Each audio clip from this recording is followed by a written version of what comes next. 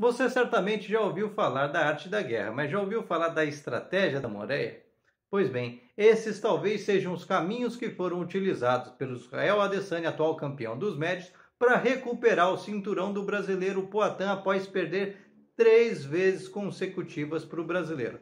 Vamos entender melhor essa situação? Antes, peço que se inscreva no canal, senta o dedo para compartilhar e não esquece de deixar sua opinião, que é muito importante para que mais pessoas entendam os mecanismos por trás das nossas decisões.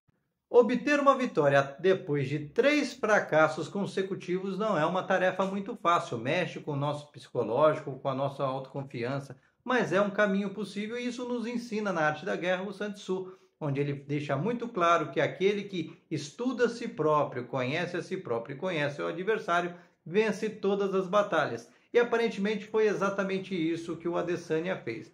Teve um exercício de humildade para conhecer a si próprio, conhecer suas vantagens e desvantagens, reconheceu as características do adversário e tomou uma decisão muito difícil e arriscada, que foi optar pela estratégia da Moreia.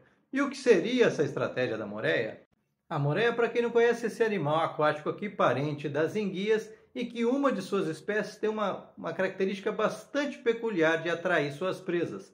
Ele se finge de morto e, mais que isso, permite que essas presas se aproximem e até belisquem, comam pequenos pedaços dele para se distrair. Enquanto está distraído comendo a própria, a própria moreia, ela dá o bote e come o, a sua presa. Foi mais ou menos essa estratégia bastante perigosa e dolorosa adotada pelo Adesanya, que atraiu o Poatan três ou quatro momentos durante a luta, sempre na mesma estratégia, esperando um único momento fortuito, um pequeno lapso onde ele pode ter, poderia teria que ser mais rápido, aproveitar o momento em que o Poatan engatilha a sua principal arma, que é o seu cruzado, para acertar ele naquele pequeno buraco, naquele pequeno lapso de tempo.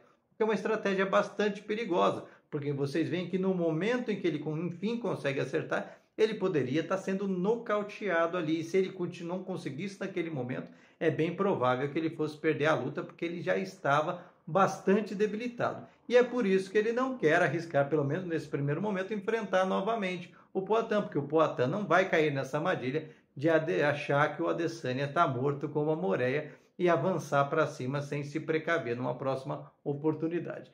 Então é isso daí, gente. Quando a gente estuda, conhece o adversário, a gente nunca perde. Agora, quando a gente subestima ou não avalia, a gente perde até quando tem vantagem.